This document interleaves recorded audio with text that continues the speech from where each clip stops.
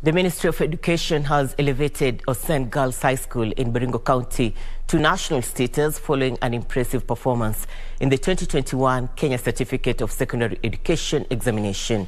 Following the upgrade, the national government is expected to expand learning infrastructure at the institution.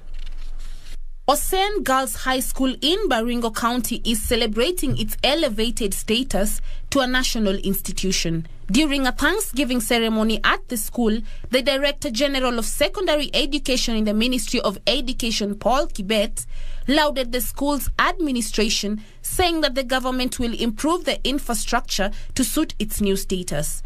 The County Education Board, Baringo, recommended the elevation of your school to national status.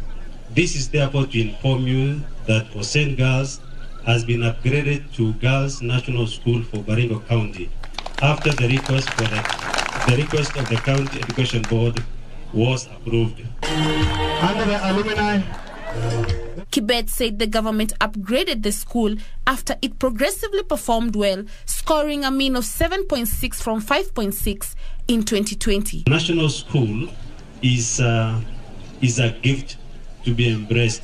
There are some places that took long to accept, but um, I'm happy that um, for you. Um, Baringo County Governor Stanley Kiptis thanks the national government for elevating the school, saying it will help improve education standard in the region.